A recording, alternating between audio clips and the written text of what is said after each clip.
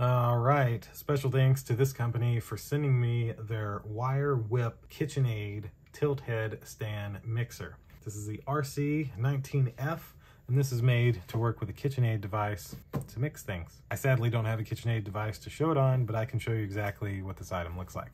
Just a sticker on the bottom, exact identical picture on the back part.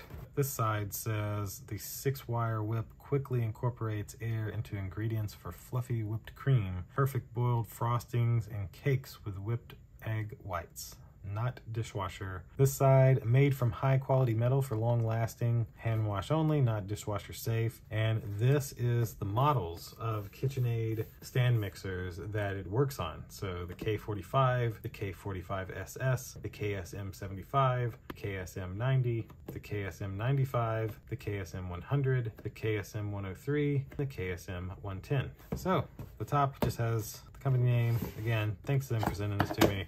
And up, see what we have.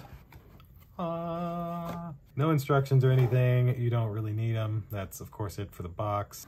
And so this is it. It is, uh, you can tell it's metal, very nice metal. And you can see there's like one that goes up and over and then this one kind of goes over that one and this one goes under those two and this one goes over both of those and then these go absolutely over both of those. This one actually even has a little groove to set down in there. This part should go directly onto your KitchenAid to your KitchenAid mixer. Hopefully you can see this adapter so you know whether it works on your KitchenAid mixer or not. And uh, truthfully, that's all there is for this unboxing. Put it on your mixer, it would do its thing and make you some whipped cream.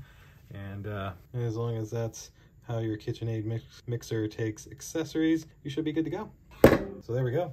That'll do it for this video. Again, thanks to the company for sending this my way. See you in the next one. Deuces.